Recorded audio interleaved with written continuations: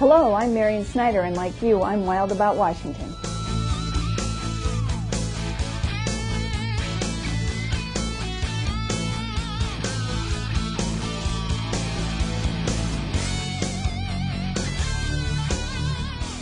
Each year, state, federal, and tribal fishery managers gather to plan the recreational and commercial salmon fisheries.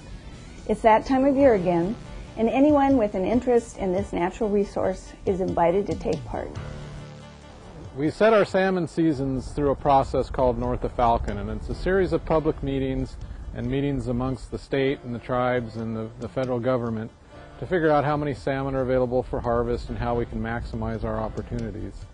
It's very important for fishermen, anglers, or commercial fishers that care about what their seasons are going to be to try to participate in these meetings. The meetings are not always at convenient times and locations, but you really have to try to get to these meetings and, and add your input or hook up with a group that would be there to represent you. Uh, some groups that represent recreational anglers are Puget Sound Anglers, uh, some of the commercial uh, groups are the Puget Sound Vessel Owners Association. Whatever venue or type of fishing you do, you want to find a group that can represent you and give your point of view on an issue if you're not there to help us make tough decisions on how to use our what little salmon we have to harvest. If you've never been to a North of Falcon process before or any of the meetings, you might want to plan on coming the first year and just uh, sitting there listening to what's happening and trying to learn what the processes are. It's a very intimidating process for folks that haven't participated.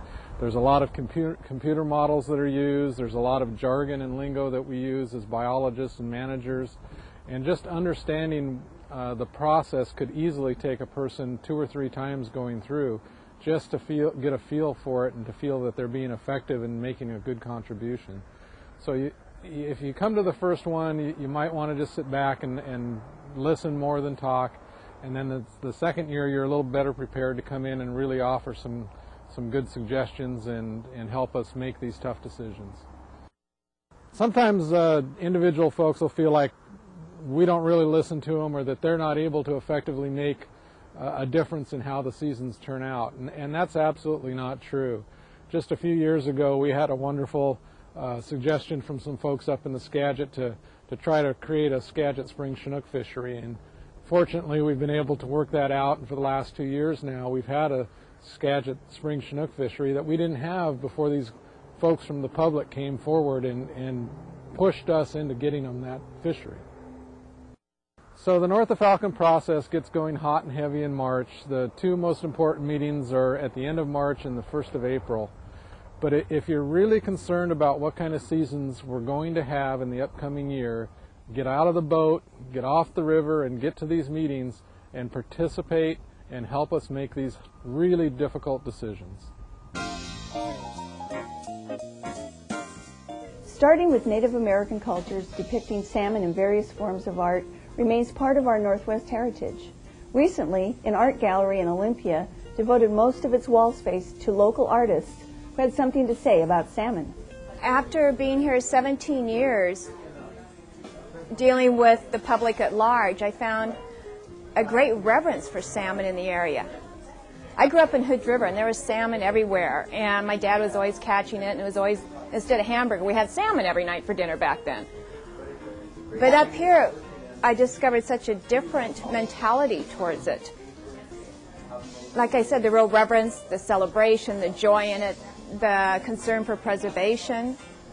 And I started thinking, why not do a theme show on salmon?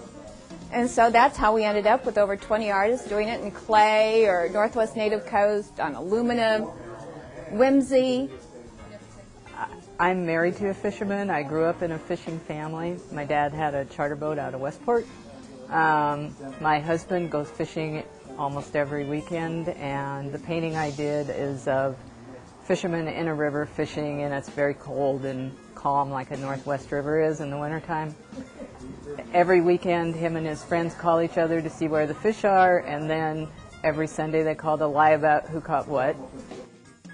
If you've ever deal with salmon as much as I have, you know, they become an integral part. of, of, of you and they become an integral part of your art because, I don't know, they're just a wondrous animal. You know, I think of, of the salmon uh, and its cycle and stuff. And then I try to determine how I could best represent that story or that particular, uh, and then I do it as a natural, in a natural form or in a stylized form. I work with uh, wood, carving in wood and stone. I do silver and gold jewelry and also do print. There is an elemental coreness to it that, that is vital to our culture. Here are suggestions for fishing adventures in the coming weeks.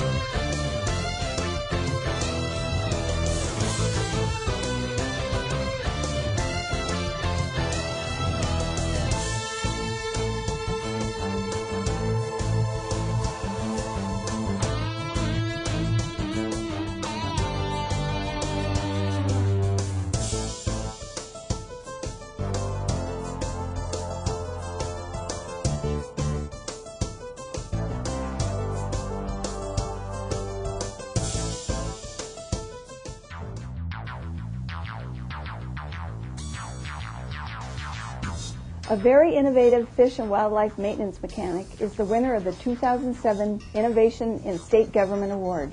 Jody Taylor knew there was a more efficient way to feed elk, and he found the better mousetrap.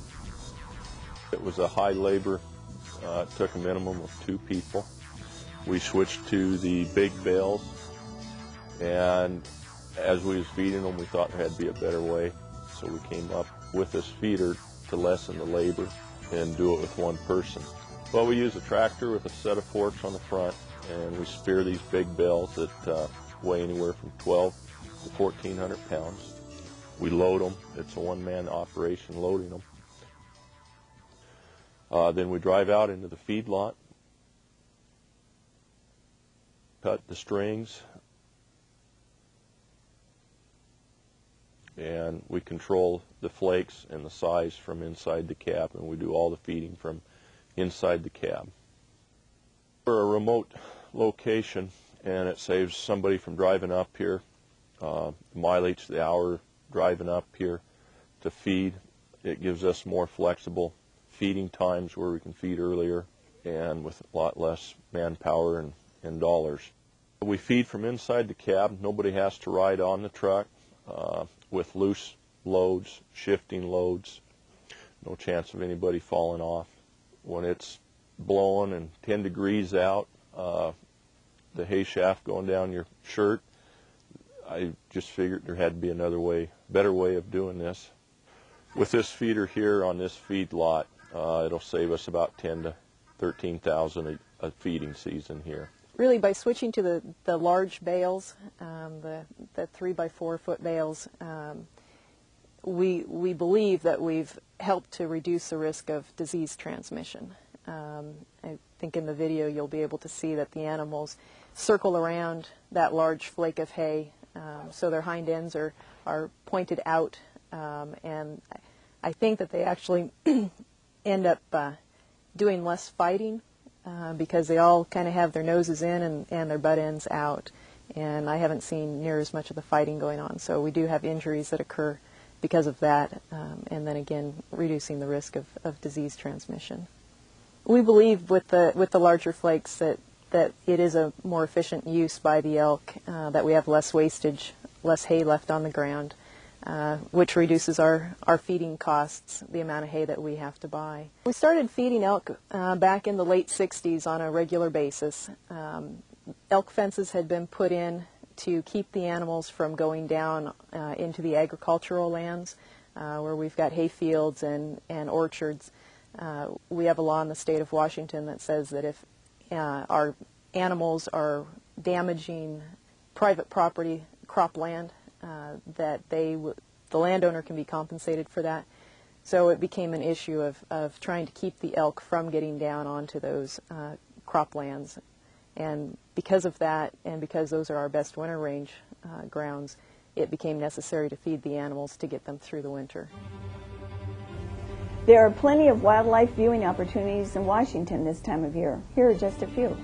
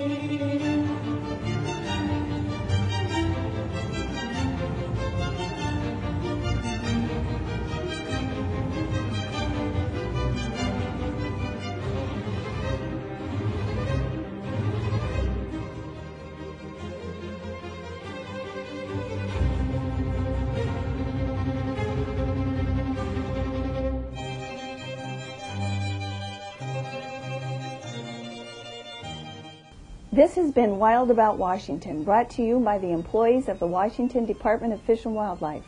Working together, we can keep Washington's outdoor heritage for future generations. Thank you for watching.